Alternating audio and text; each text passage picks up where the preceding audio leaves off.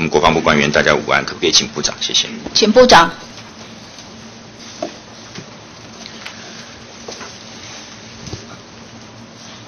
刘院长，呃，部长午安。呃，四月二十三号，中国大陆的有八艘海监船呐，进入钓鱼台。同时呢，解放军有四十架次的各种战机在空中进行掩护，包含了苏凯二三十跟苏凯二七，这是第一次出现的。我想请问一下，中国中共的空军的军力，对于台海这个海峡对岸的我们的这个空军来讲的话，我们的防御能力？有没有办法来阻挡、来阻挡这个中共的这些空军的军力？我想，空防是我们目前是非常重要的一项工作啊。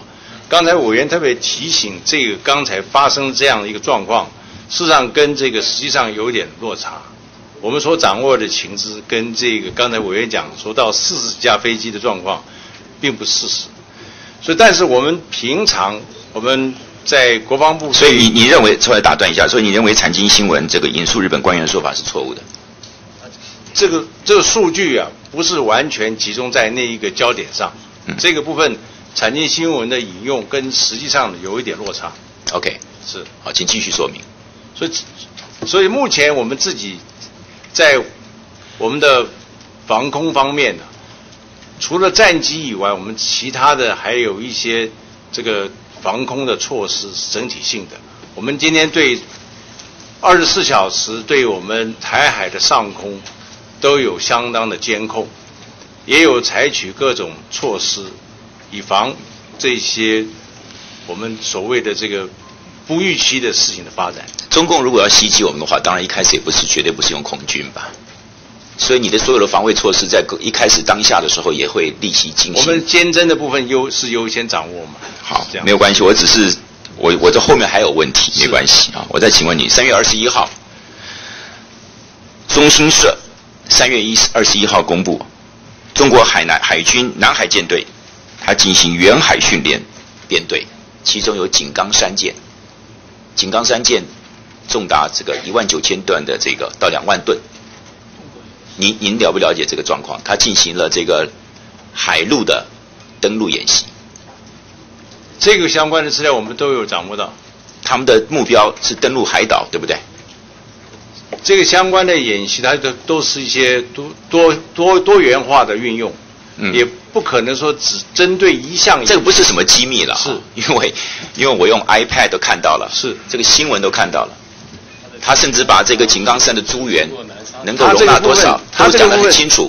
我现在的问题是，中共的这个登陆的能力，第一个，它的目标是什么？你刚才讲是多元的，表示它可以在南海、海南、南海，也可以在钓鱼台，也可以在我们台湾本岛，是是是不是？是的。那么中国大陆的这些军队的海军的登陆能力，登陆能力就是说，刚才委员特别考虑的是，他今天所有的载具，两传统的两栖载具。因为我们去台湾的海峡的状况，这个部分都并没有达到我们他想象中那样子一个完备，就是正规的登陆的载具，完成一个两栖登陆的这个所需的正规载具，这个数量，你认为数量不够？是，数量不够的话，但是他如果就能够控制海域，然后源源不绝的用它各式各样的，包含了。古早的时代的机帆船，它都可以登陆嘛，对不对？所以，对这个问题，向委员报告，什么叫为什么叫做当初为什么叫汉光演习？就是在二十多年前，我们认为它正规载具不足状况之下，如果他渡渡海作战，如果他运用一些非正规的载具，我们要如何应应？这多少年来，这都是国防部因应防务作战都必须面对的一项事实跟考验。我我不晓得我们的我们的部队是怎么样来防御这些，我我没有看过我们的军事机密如何来防御啊。但是我想要问的是，刚刚江启臣委员也询问了，你说要靠国际奥援，靠国际奥援也有时间差吧？那这个时间差的时候，我们能够撑多久？我在第五届担任立委的时候已经问过一次，当时的霍守业将军曾经告诉我，私下告诉我，我现在再请问一下，相距于十年之前。我们在于争取时间差，来透过来取得国际奥元这个部分有没有改变？我想这些部分呢，相关的能量要根据整体环境主客观环境的改变。如果说中共的它的国军力的增长，那么我们就要考虑到它整体性造成我们需要争取时间，会有做一些改变。你讲的话我不听不懂。时间差，我们就用一个礼拜来做日子做做期期程好了。一个礼拜是七天，请问它比七天我们能够撑得住的时间比七天长还比七天短？向委员报告，就是说，今天如果中共的兵力增加了，我们应该会短，但是就是说，需要的争取的时间反而要加长。你说什么意思？争取的时间要加长，什么意思？就是需要的时间要加。你的意思是说，我们现在能够挡的时间短了，对不对？是。那我们需要能够延长的时间要加长，那怎么办？对呀，怎么办？他的他的。军力在不断的增长，我们更需要强化。好，我们现在谈一下强化军力。你刚刚在报告里面说 F，或者刚刚在咨询的时候谈到我们的 F 五一要除役了。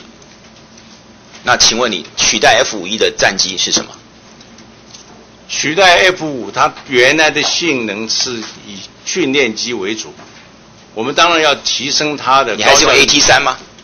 不是 AT 三，那用什么？我们原来是希望有高教机来取高教机。我现在请我为什么问这个问题？韩国在二千两千零五年也也招揽了我们一些人人才去做了 T 五十，T 五十取代 F 五一，F 五 A A B 就是 F 五型的飞机。那请问我们是不是要用金国号来取代 F 五型的这个训练机训练工作？我们这个空军都有各种不同机型的需求。有些委员，现在的问题在于，我们怎么样来弥补这些这些轻型战斗机或者是训练机的这个空缺？人家有 T 五十，它不仅是做训练，它也可以做攻击。我们现在有金国号，但是金国号本身是一九九零年代的初期的发展，事实上从八零年代开始做的。那现在请问你，人家是二零零五年，对不对？人家的各种武器资源、各方面的设备资源都比我们要来的先进。我们如何来提升我们？你刚刚讲的，除了金国号的 update upgrade 以外，有没有其他的更好的方式来弥补我们的战力？希望采购嘛，对外采购就是采购了。那我们金国号不是可以自己做了吗？我们为什么不？我想要引导你的是，为什么我们不去发展这部分的？它是选项之一，选项之一。对，我在最后一点，我还没有时间，已经到了啊。是我看到你这个报告里面。其实你没有说的，比你说的更重要，包含了金国号的这种所谓的武器飞机的这种自自制的问题，包含了前建国造的问题，还有就是我们有的工业能量一直没有发挥。上次在杨副部长的时候，我也讲过，很强调强调。譬如说，我又再再一次声明，攻击宾拉登，他用的不只是海军的特战部队，不不特不海这个属于 SEAL 的这个部队。它更重要的是空中有 drone，有无人飞机。我们是希望我们的无人飞机中科院也在继续研发，不是要靠中科院，中科院只是其中之一。我们的民间的生产能量绝对是不容小觑的。是，谢谢委员。啊，谢。